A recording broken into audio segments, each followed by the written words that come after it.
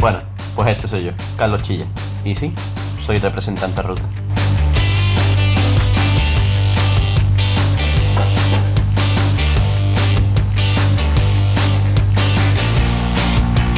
Sí, esa rubia de ahí soy yo, Marina de la Villa, representante ruta. Y no, aunque lo parezca, no soy tonta. Ah, y esta es Jessie, también es representante ruta, lo que pasa es que no estaba para grabar. Eh, bueno, continuemos. Bueno, el representante ruta es un ruta que su labor es representar a todos los rutas en, en la delegación. El representante es una figura muy importante, el cual organiza, comunica y transmite toda la información a los demás rutas.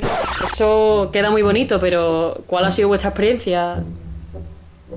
Bueno, realmente mi experiencia ha sido que estar aquí bastantes veces. en 24/7. temas de 24-7, todos los días mandando cosas, eh, haciendo un montón de encuestas, eh, preguntando a los rutas cualquier cosa, nuevas ideas. Realizar muchos grupos de WhatsApp, estar atento de que todo, a todo el mundo le llegue esa información, estar pendiente de que se realiza todas las propuestas y todo lo que se organiza.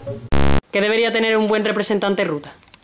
Ilusión, Empeño, organización, trabajo, compromiso. esfuerzo, Ya no se me ocurren más.